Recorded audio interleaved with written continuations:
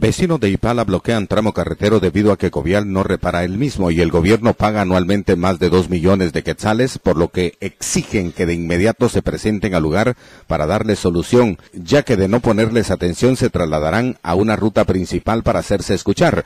Los afectados son los propietarios de vehículos, estudiantes y microbuseros, quienes se quejan que son graves los daños que tiene esa ruta, que comunica a unos seis mil vecinos que residen en varias comunidades de Ipala, Quesaltepeque y Concepción Minas.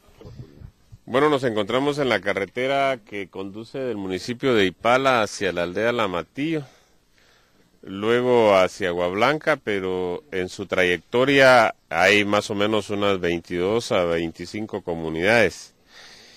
Y estamos prácticamente en un paro de vehículos, tanto de los buses eh, uh, municipales como de vecinos y presidentes de los COCOES, COCOES en general, dado que tenemos ya más o menos cuatro o cinco meses de estar en una situación bastante difícil en esta vía de comunicación y que últimamente se ha agravado. A partir de dos meses para acá ya casi es imposible vehículos, eh, busitos que se han... Eh, llenado de agua y que han arruinado sus equipos, han tenido gastos altísimos.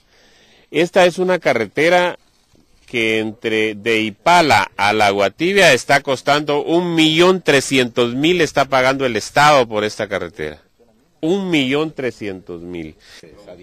Bueno, el problema que estamos viviendo es eh, la situación que eh, hay hay varios hoyos en, todas, en toda esta ruta y los vehículos pues están dañándose totalmente.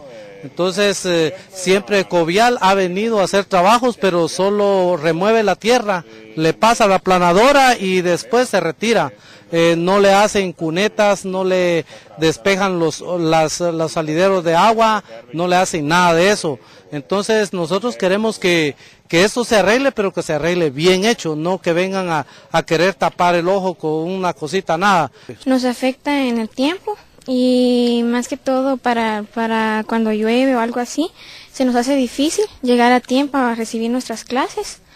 Y también hay veces que no, no podemos viajar, tenemos que ir a dar la vuelta por Julumichapa o nos tenemos que venir por Agua Blanca.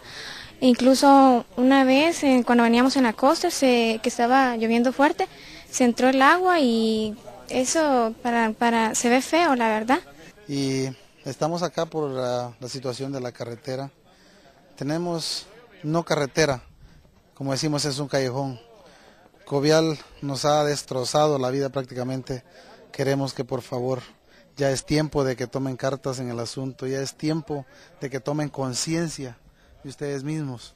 Esta carretera la tienen abandonada prácticamente ya por meses sin tener, sin tener un mantenimiento mínimo. El mantenimiento que tiene que dice que cobraron un millón trescientos mil quexales por un tramo corto, lo que cual aquí no vemos nada. Con imágenes de Alba Luz Ventura de Paxtor, reporta para prensalibre.com Edwin Paxtor. Prensa Libre te presenta su nuevo portal móvil. Ingresa a m.prensalibre.com desde cualquier smartphone y encuentra fácilmente las noticias del acontecer local y mundial. Actualiza y vive la información con el paquete periodístico más completo. Prensa Libre es mejor.